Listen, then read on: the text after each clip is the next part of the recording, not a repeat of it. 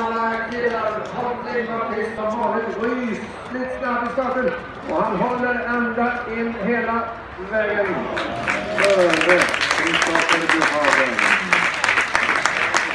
Han gjorde i år